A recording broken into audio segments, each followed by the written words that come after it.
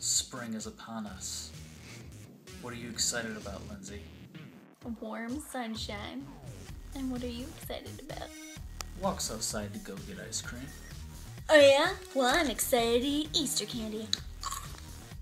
Playing in the rain naked.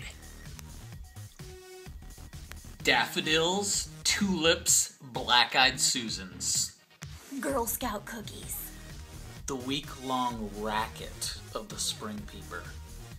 Taking pictures outside. Scooter rides.